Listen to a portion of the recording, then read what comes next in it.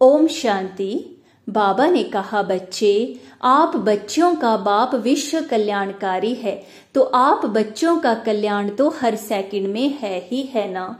बस आप सब कुछ बाप को दे दो।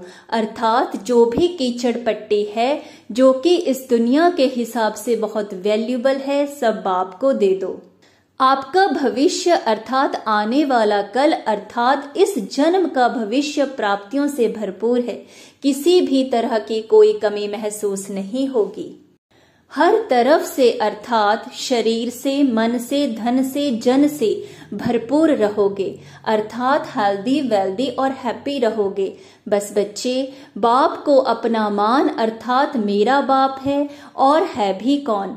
अर्थात मुझसे ज़्यादा भाग्यशाली कोई नहीं। यह मान सहज रीति परिवर्तन के प्रोसेस को पूरा करो। हर समय, हर हाल में बाप आपके साथ है। बस आप मन बुद्धि से बाप के आगे समर्पण हो जाओ। ज़्यादा सोचो मत, बच्चों के कल्याण के निमित्त मैं आ गया हूँ। तो अकल्याण तो हो ही नहीं सकता। बस बच्चे, हल्के रहो, खुश रहो।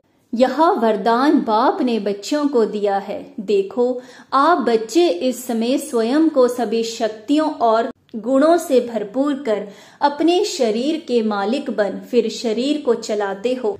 आपका फुल अटेंशन स्वयं पर होता है कि मैं पावरफुल हूँ।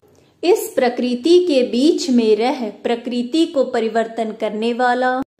जिस कारण आप केवल अपने शरीर को तंदुरुस्ती ही नहीं रखते बल्कि इसे हीरे जैसा बना लेते हो, जिससे यह पूरा विश्व ही परिवर्तन हो जाता है।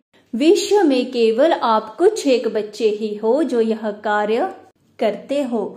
अर्थात, बाप समान बनते भी हो और साथ ही साथ बाप परमात्मा पिता की महिमा के जो गायन है, वो सिद्ध भी करते हो।